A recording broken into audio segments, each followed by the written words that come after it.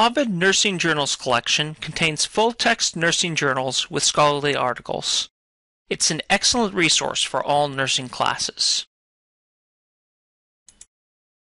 On the main search screen of Ovid, there are two main methods for finding articles. First, we'll look at the search bar. The search bar gives you two options.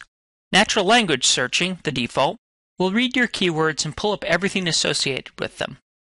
Boolean searching, searching with and, or, and not, is much more precise and will give you better results.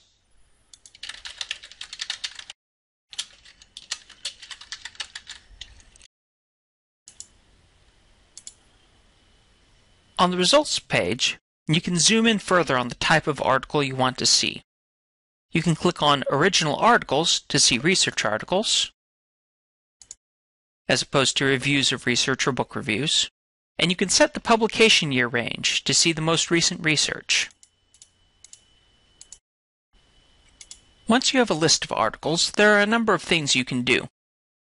Clicking on the green drop-down arrow gives you the abstract for the article describing what's in it, while complete reference shows a list of sources the writer used for that article. You can read the article itself by clicking on Article as PDF with the red Adobe icon. Within the article, you can click on Email Jumpstart to email a link to the full text to yourself so you can access the article later. Going back to the Results menu, you have the option to search for related articles on the subject. There is also an option to search for articles that cited the article you just read. The other main method for searching is browsing. From the main page, you can browse through individual journals by clicking on their title or picture.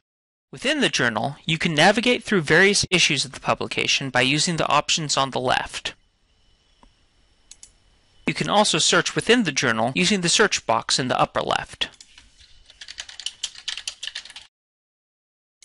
These are the basic skills for using Ovid nursing journals.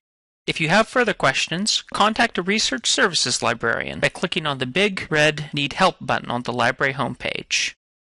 We are always happy to help you with your research.